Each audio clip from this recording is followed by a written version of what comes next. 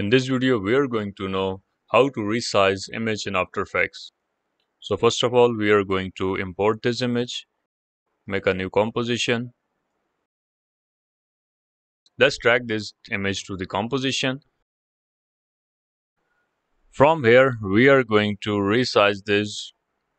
So if you are going to press S for scale up this video, and drag and drop this image where we want.